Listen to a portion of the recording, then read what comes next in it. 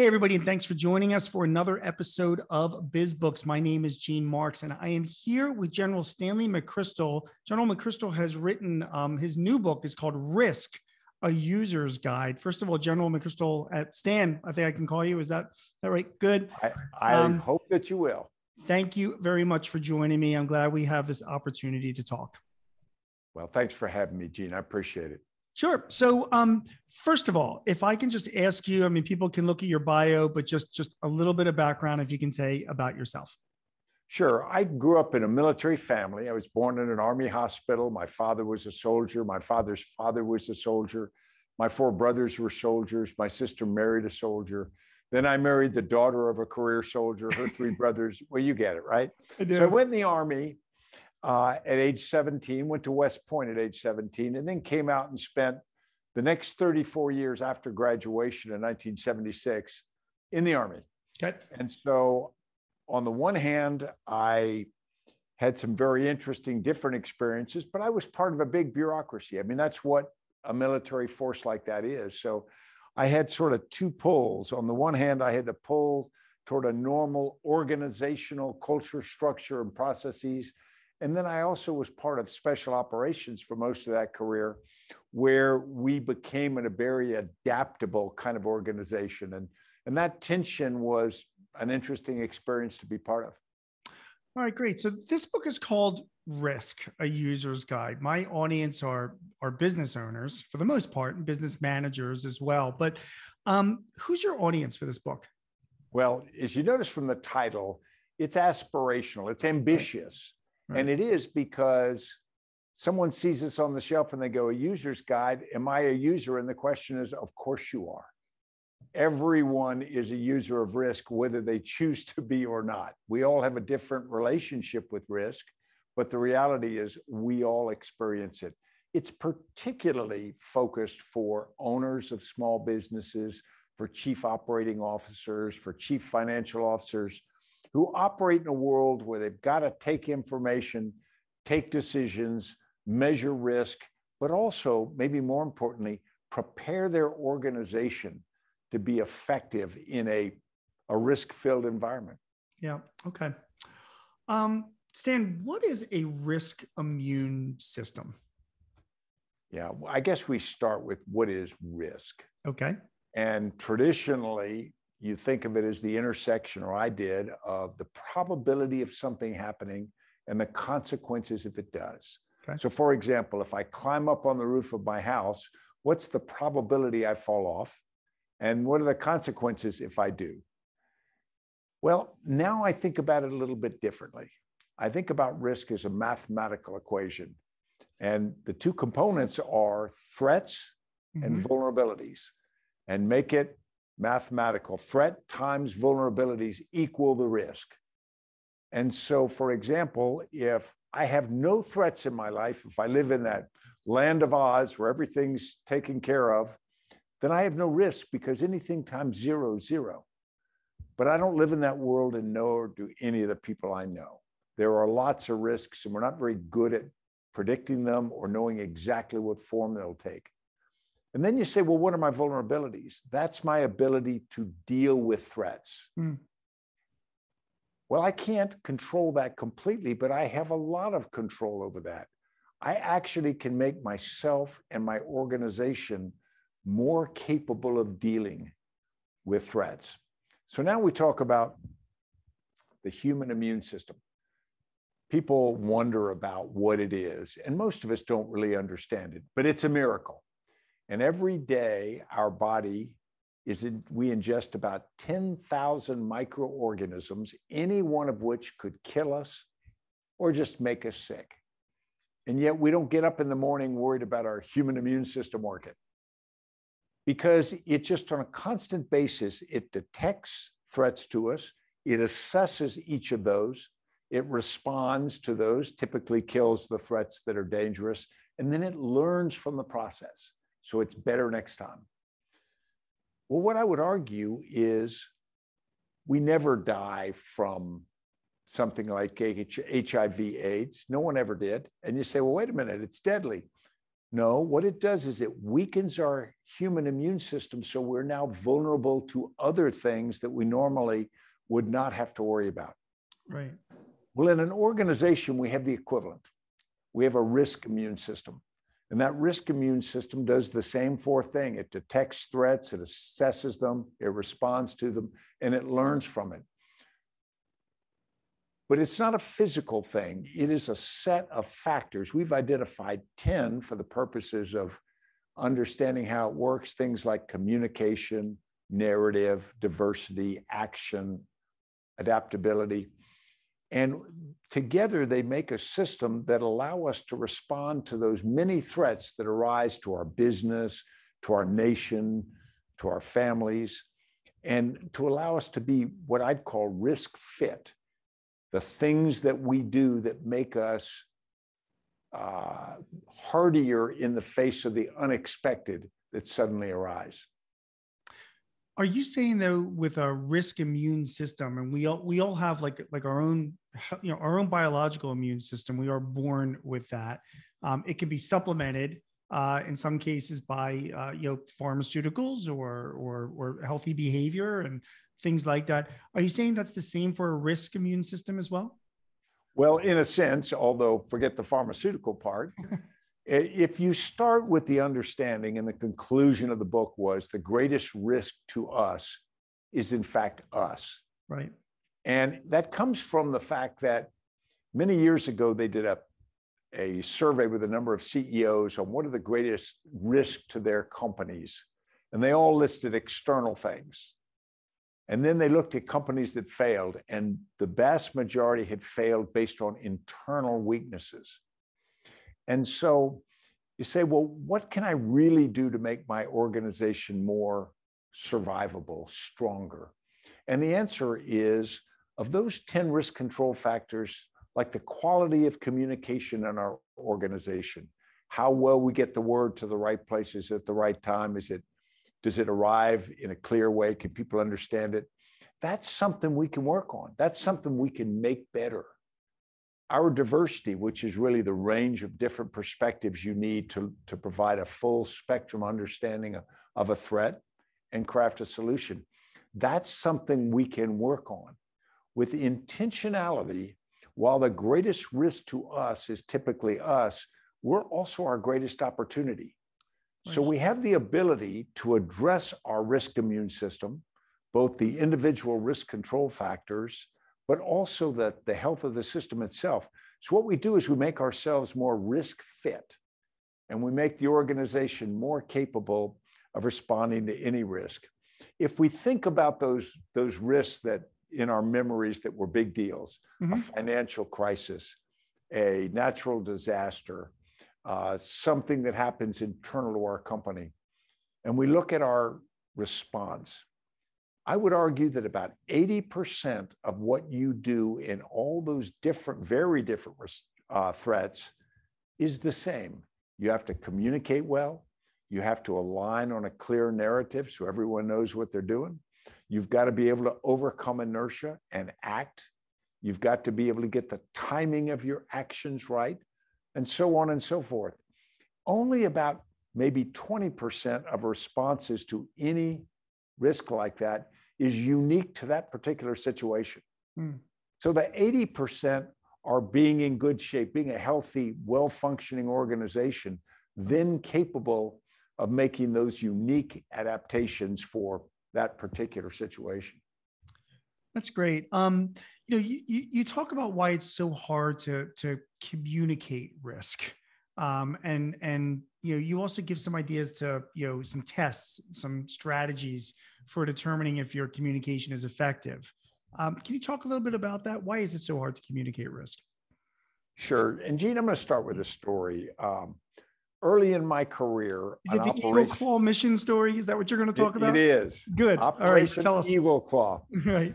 Um, early in my career, I was a young special forces lieutenant, and I was in Thailand at the time. And an operation occurred which changed the rest of my career. And I wasn't even on it. But many people will remember this operation. In November 1979, Iranian students seized the American embassy in Tehran.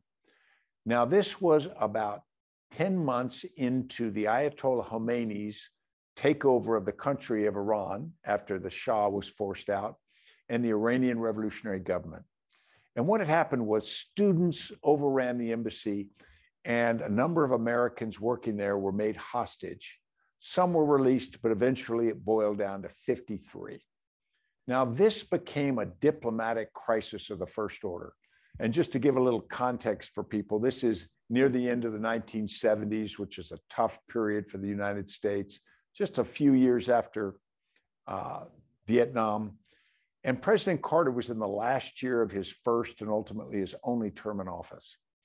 And he wanted to bring the Americans home because that's his job, but also for political reasons. He knew he couldn't be reelected unless he solved this problem. Well, they tried for several months to work a diplomatic solution and they were unable. And finally, the planning which they had put in, into train to come up with a rescue option was brought into the president. And the president was briefed on the plan. And that plan was to go into downtown Tehran with American special operators and rescue the Americans and bring them out. And you have to get into the moment here. First, to understand how difficult the mission was. Going into the capital of a country that is entirely denied to the United States is hard enough. Mm. Second, you're bringing out 53 hostages, a large number of people, and you've got to locate them inside a 27 acre large American embassy compound. So you got to get into the city, get into the compound, find the Americans, release them from their captors, and then you've got to get them out. So it's a incredibly difficult. Yep. Now, two really accomplished soldiers were brought in by the chairman of the Joint Chiefs, and they were brought in to brief the president, and they did. And then the president asked General Jim Vaught and Colonel Charlie Beckwith what he thought their probability, what they thought their probability of success was. Mm-hmm. And they responded 85%. The president approved of the mission. And of course, we know historically it was a dramatic failure. Now, you got to put yourself back into the situation. Everyone in that room wanted the mission to work. But if you looked at the mission, the concept of the operation they came out with had 10 phases to it, which began with helicopters and fixed wing aircraft infiltrating into a deserted piece of desert. And then they transload the raid force from the fixed wing aircraft to the rotary wing aircraft. The fixed wing aircraft exfiltrate out of Iran. The rotary wing aircraft fly to the outskirts of Tehran, the capital. And then, because daylight is approaching, they have to hide for a full day. Incredible. it's unbelievable. Yeah. And, and then that afternoon, trucks are going to come out, pick up the raid force, drive to the embassy, and there would be a, a raid, which was expected to involve a firefight. Then to get out, assuming they rescued the hostages, the helicopters were going to fly into the soccer stadium, which was next door to the embassy the raid force would take the hostages there. Everyone would get on the helicopters and you take off. Mm. But you don't have enough fuel to get out of Iran now. Mm. So they've got to seize another airfield, land the helicopter. Well, anyway, the mission fails. Yes. And we look now at it, we say that there were 10 phases to the mission, and every phase is dependent upon every phase before it being successful. Mm. So failure of one and it's over. And even if you say that each phase, some of which were more difficult than others, had a 90% chance of success, and that's probably a bit generous, and you stop and say, well, 90%, so we got a 90% chance of the mission. So, okay, that's good. But that's not the way probability works. Mm-hmm. It's really 0.9 times 0.9 tens times, which is 0.345, which means that had they been in the Oval Office with President Carter, a submariner by initial background and education, and he asked them, Well, Colonel and General, what do you think? If they'd said, Well, sir, it's just under 35% probability of success, what do you think the chances that he would approve it? Probably zero. Right. But the reality is, we need to be more understanding than that. We need to understand that this is two special operators communicating to a submariner turned politician. So he doesn't really understand the frame of reference for what they do. So they're communicating something unfamiliar. They are telling him 85% because they believe it. They have planned it, they want it to go, they have confidence in their people. So they're exuding part of the understandable confidence. Now, the recipient of the information, President Carter, very much wants the operation to work because he's the president and he can't be reelected without it. And so there are a number of factors in that room. So we say we didn't communicate risk effectively in that case with tragic consequences, mm. but it's understandable. We need to understand that too often in our lives, we don't communicate risk or receive it and act on it in a particularly objective way. It's very subjective. And we need to understand that. We need to build into our, our systems and our understanding of risk an appreciation for that reality. So you talk about four tests to, to communicate, you know, to make sure that it's effective. Can you can you weave those four tests into the story? Absolutely. And the four tests start with can you communicate? Do you have the physical ability to get the information from A to B? Okay. And the answer is often we can't. We don't have the phone number, we don't have connections. In this particular case, you have the two decision makers brought face to face with the recipient. So the reality is the first test, they could physically pass the information. Okay. The second is, will you pass it? And you say, well, of course you will. No. How many times you've been in an organization where somebody won't pass information either because information is power or because they don't know who else needs the information? They're not familiar with that, or they're busy. There are all kinds of mundane reasons why we choose not to, to pass information to the next place. Well, in this particular case, you've got the two decision makers. They are willing to pass the information, but I put an asterisk on that because they're willing to pass the information as they understand it. So, with their inherent biases in it, but they are still willing to tell the president. Mm-hmm. They didn't tell him, Mr. President, there are 10 steps that could be less than 35% because they, they hadn't thought of it that way. Right. And then there's a third uh, test. And the third test is Is the information accurate and timely and relevant? So, is it the right information? Now, I would argue in this particular case, they probably failed because while the information was what they believed to be true, in fact, the information was undoubtedly flawed because it didn't contain the complexity and the, the, uh, the risks inherent in many of the factors so that the president got information that said, oh, okay, mm-hmm. he got 85%. They believed you know, it, it, was it, it, true. Not to interrupt you, but you, you write later on about you know the importance of technology, you know, in you know in making risk you know decisions.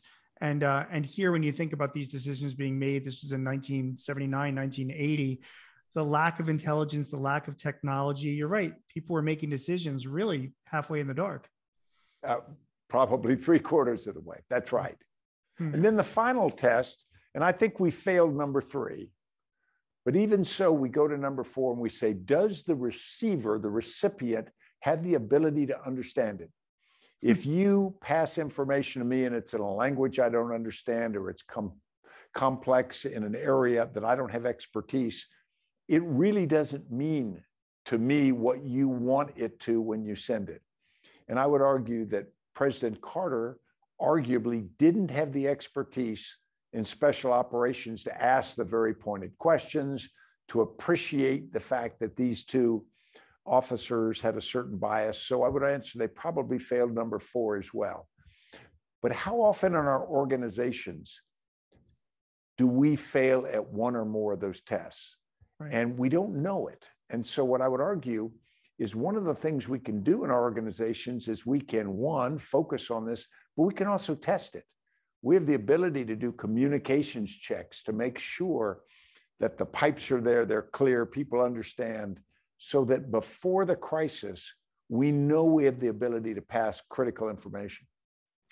You know, this you you you talk about to, to to solve a problem, you have to first of all know what the problem is and and be able to assess the risks of that problem. And to me, that is that's like the crucial part of this entire book is is not how you address risks that are affecting your business, but truly, truly identifying what they are and how they can impact you. And uh, that you know that example where you you were saying, I mean, you had people going in there with an 85% probability. They were saying to the president when really, you know, you, like you said, it was closer to 35%. Um, just has an enormous impact on the ability to make a decision. What is um, Stan? What is what is narrative misalignment, and and why does that increase risk? What do you mean by that? Right.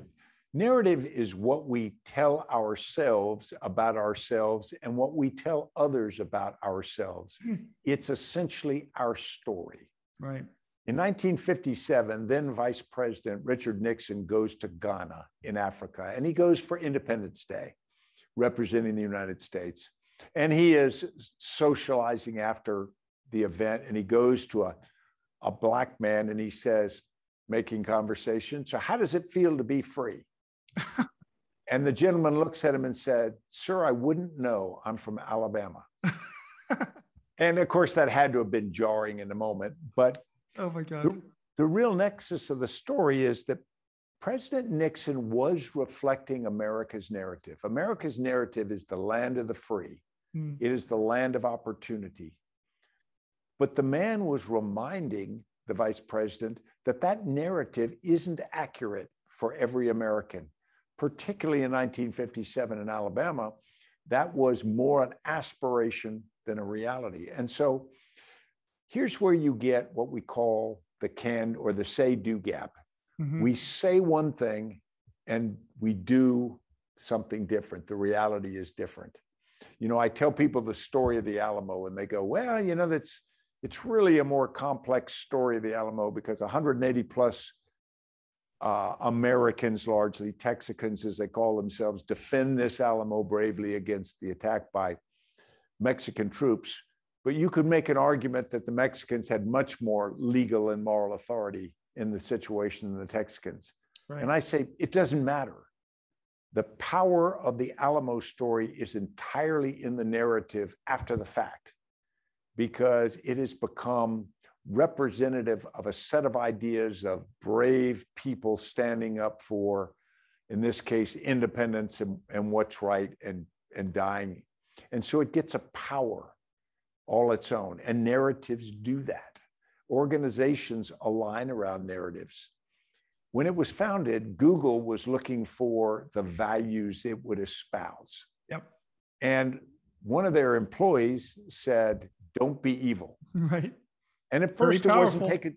It wasn't taken seriously. People say, "No, no, that's not a real value," and then they kind of bounced around and they go, "Well, actually, it's it's a real good value. Well, we won't be evil." And they mm-hmm. put it on things. They they trumpeted the saying, and then they made the decision to start working with the Department of Defense, United mm-hmm. States Department of Defense, on a project called Project Maven. And they were essentially doing early stage artificial intelligence to process information from aerial surveillance activities. Now, the leadership thought that that was fine. And, and I personally think that was fine. But there were members inside Google that felt that that was being evil. Yep. So, what they had was they had a gap between what they were saying was their value, their narrative, and what they were actually doing. And it created quite a firestorm inside the organization. A little revolution occurred inside Google.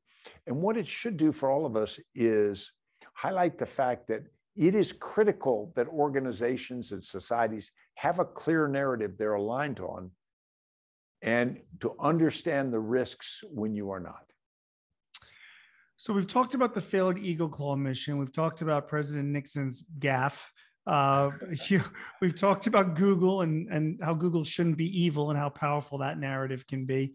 Um, let's talk about Lehman and the financial crisis that you you wrote about um, as it as it relates to the structure of an organization.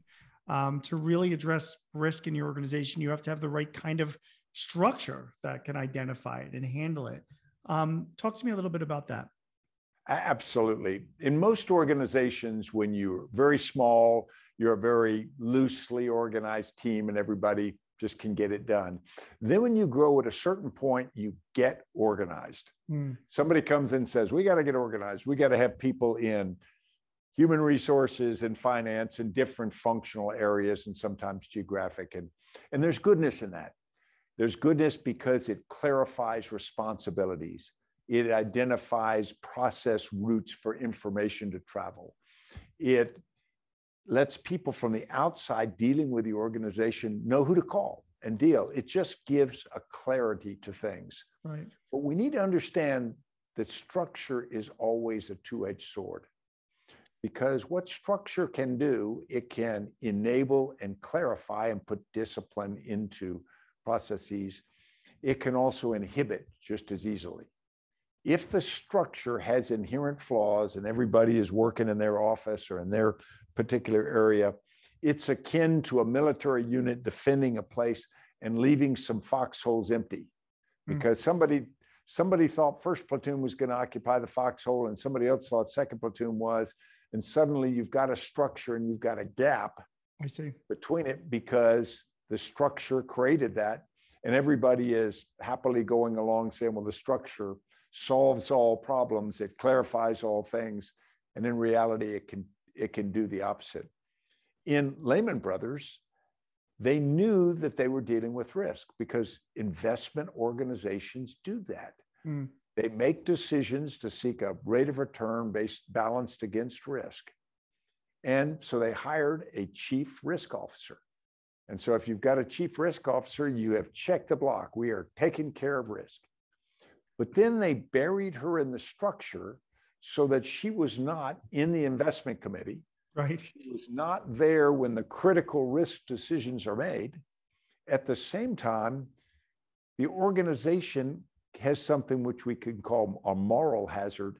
Everybody thinks that risk is covered because we have a chief risk officer. Therefore, I don't have to worry about risk. Right. And right. so your structure can become something that creates weaknesses. And it takes a very intentional effort to focus and understand how the structure connects so that you can avoid critical uh, weak, critical vulnerabilities.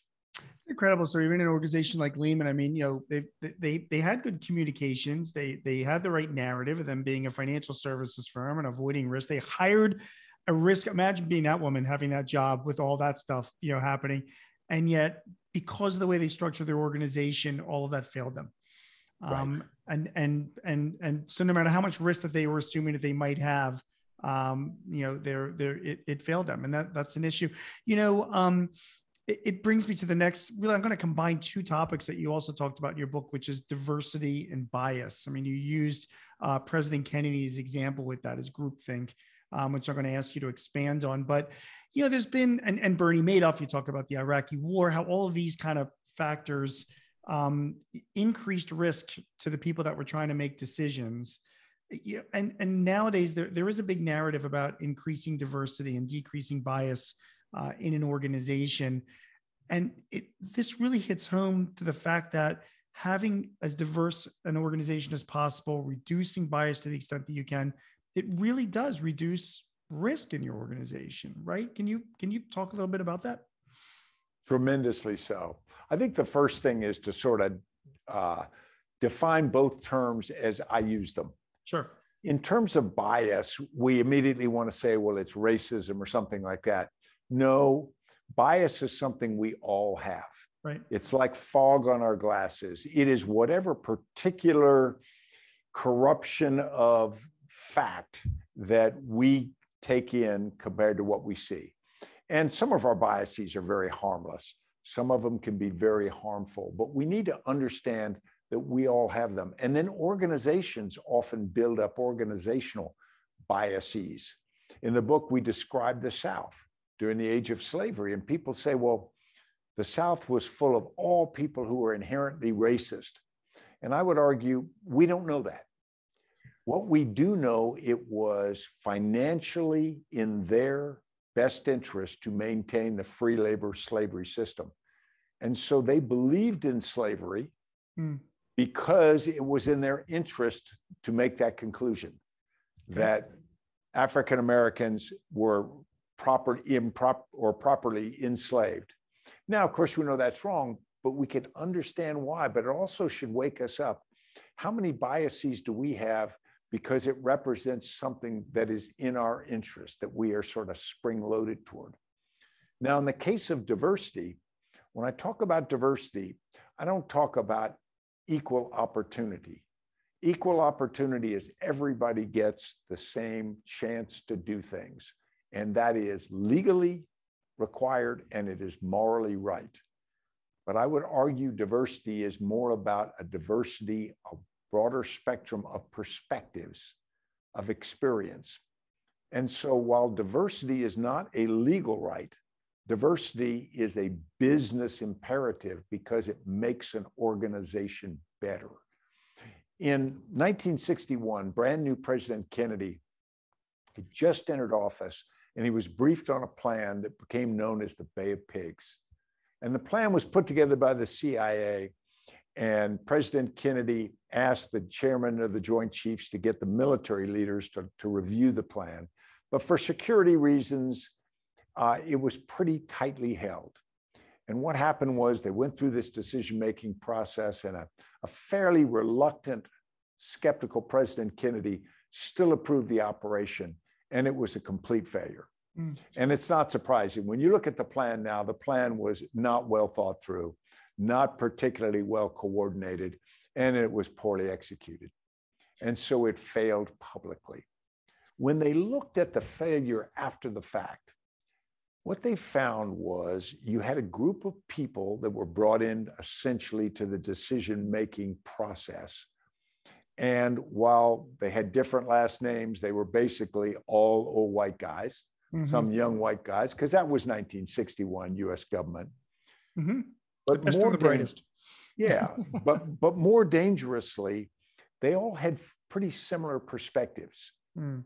And when they studied the operation later, a man named Irving Janis came up with the term groupthink, which we all know now. Mm. And basically, he identified that there were dynamics in that group that suppressed people from disagreeing. Right. Sort of coerced other people into aligning upon the idea. It created this idea that because everybody else believes and they're smart, accomplished people, I better believe because I want to be a smart, accomplished person. And he came up with a series of indicators, and it was really reflective of what had happened in that particular failure. Well, President Kennedy luckily went to school on it. And 18 months later, you have the Cuban Missile Crisis. Again, Cuba is, is the issue, but this time we find Soviet missiles on the Cuban islands, and there's a decision making process that's implemented. This time, President Kennedy executes a different approach. He creates some, something called an ExComm or executive committee and he brings together people that's still a bunch of old white guys because it's 1962 mm-hmm. united states at this point. But he very consciously brings different perspectives into the room people with mm. different viewpoints. What he's trying to do is give himself more freedom to think and act a broader range of potential options. At the beginning of the process day one if they had voted and, ex- and executed they would have invaded cuba but after a series of days when he, he pushed this process, largely orchestrated by his brother Bobby, he was able to tease out a broader set of options to include what they called a quarantine, mm-hmm. which ultimately probably prevented a nuclear war. Mm. And he did it by getting diversity of thought right. diversity of perspective. He gave himself greater options. And so, what I would argue is in a business organization now, if you don't have diversity, you are creating blind spots. And those blind spots are incredible risks to you. I was just going to say you're increasing your risk by not having that diversity. Um, tell me who Dick Fosbury was and what he has to do with being adaptable. Great. If you had seen Dick Fosbury in 1968 in Mexico City, you'd see this tall, thin, 20 year old guy wearing two different color athletic shoes. and you you might be tempted to dismiss him. Right. And yet he stands before his approach to the high bar in the Olympic Games. He runs to the high bar and then he throws himself over the high bar backwards. Now, that's not the way high jumpers jump. There have been a lot of different impressions, but he goes over backwards. And the crowd starts laughing. And one of the reporters there said the crowd laughed so hard, they barely noticed that he won. And he set an Olympic record and won a gold medal. Hmm. And this 20 year old University of Oregon engineering student had been high jumping for years. He'd studied high jumping.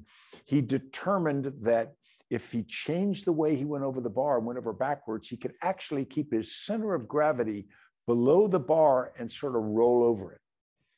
And you say, well, wow, Dick Fosbury is just the most brilliant guy ever. Well, he's pretty smart. But what he did couldn't have been done in earlier years. Hmm. Because for years in high jumping, you jumped over the bar and you landed on maybe some sawdust, maybe right. some sand. But if you land on the back of your neck, you probably break it. Hmm. And so that kind of backward jump wasn't possible. It wasn't physically survivable. Hmm. But by 1968, we had these big, thick crash pads on the other side of the bar. So it was very forgiving on the, the landing area. So suddenly, two factors came together. The first was changed conditions. It became possible to adapt. Right. And then a person, Dick Fosbury, who has the mental flexibility to say, hey, conditions have changed. I can adapt and I will. Almost all high jumpers now use Dick Fosbury's technique. So I guess the the point though is that um, you have to be able to innovate. Um, you you you you can't be, as you say in your book, you can't be frozen by the fear of failure, right? You've you've you've got to move ahead. Doing you know, being that way increases your risk of a bad outcome. That's exactly right. When we are stuck in what we have always done, unless that happens to be the perfect approach, we are absolutely uh, open to the risks of everything else. If we are fundamentally willing and able to adapt, then suddenly we can change to meet the conditions, which in a modern environment are constantly changing. And mm. so it gives us a whole range of options that we don't have if we're single threaded on one approach. You know dovetailing into that theme is is you know you know how important leadership is um, for reducing risk and and adapting to that. Um, you gave some symptoms of weak leadership having an unclear mission uh, a lack of a strategy a failure to follow it you know poor communications. Uh, there are plenty of books that are written on leadership but when it comes to risk itself you you tell a story where you're comparing general braddock to to Roosevelt. And right. if you could share that story and and and why that impacts the you know leadership and and and and you know, increasing risk if you don't have a good leader. Yeah, absolutely. We we tend to want to think of everything hinges on the leader. Mm-hmm. So the leader makes a good decision or a bad decision, and that's the outcome. And, and that's not reality. Right. Reality is the ability of the organization to deal with risk is inspired or in some cases constrained by the ability or the willingness of the leader to create that environment which it happens. So if we think of the risk control factors, leadership really goes over them all like an umbrella that creates an environment in which the organization can best react to potential risks. General Edward Braddock was a British regular officer, and he came from the Coldstream Guards. He had a traditional British training of European style of warfare. And he was a pretty self confident individual. And during what we call the French and Indian War, the Seven Years' War, he was given two regiments of British Redcoats. Mm-hmm. And from an area right close to where I'm sitting right now in Alexandria, Virginia, he was tasked to go to Fort Duquesne, or where modern day Pittsburgh is, and capture a French fort. Okay. Now, it was hard to get there because it was uh, 200 miles through very difficult terrain without roads, and he had to get wagons and cannon and forces there. So it was quite a logistical drill. But he thought that if he could get this regular British force supported by uh, militia and paid contractors who helped, that he'd be able to then defeat the French and Indians because the disciplined nature of British regulars was just going to be dominant on the battlefield. And so he begins this expedition. Hmm. he is constantly advised by people in the organization that have more experience in the wilderness than he that this is different. This is not Europe. Our opponents, although French leadership was there, the primary forces were Native Americans, American Indian tribes that worked with the French, and they fought differently. And so this was going to be different. One of his advisors and aides was young General, or then Lieutenant Colonel George Washington. Hmm. He also had young Daniel Boone driving a wagon for him. But he had a number of other people who were telling him, hey, understand the context of this is different from what you know. Hmm. Now, General Braddock was a competent officer and a brave officer, but he wouldn't listen to this. He wouldn't adapt what they did, nor would he let them adapt. So the organization went forward in a fairly predictable way. Mm. They got near Fort Duquesne.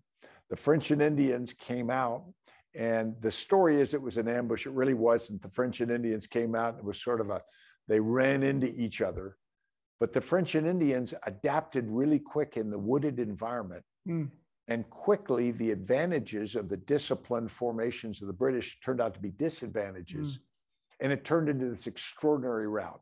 Wow. And so, what General Braddock did was he made his force less effective than it could and should have been by the constraints in which he applied. Got it. You switch that to Franklin Delano Roosevelt. Right. Here's a 50 year old stamp collector.